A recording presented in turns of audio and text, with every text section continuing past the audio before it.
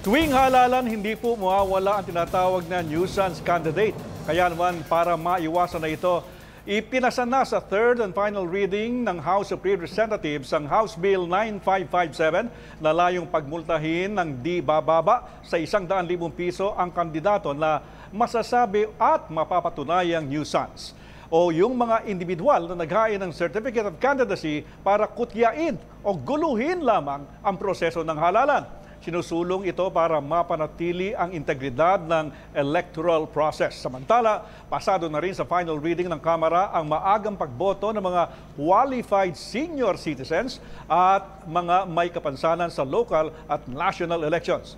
Batay sa panukala, maaari silang bumoto sa loob ng 7 working days bago ang mismong araw ng halalan.